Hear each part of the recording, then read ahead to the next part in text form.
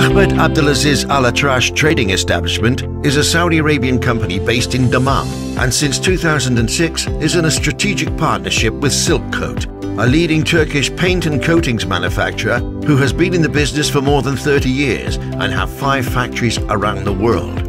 All Silkcoat products are manufactured to the highest international standards.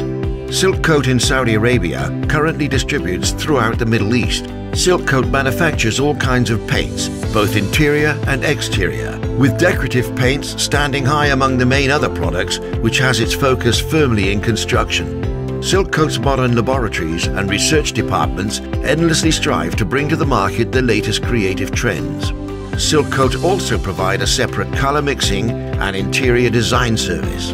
This is the first time Ahmed Abdelaziz Al Atrash Trading has joined Gulf Bid with a view to introducing many new products and also to find Bahraini distributors.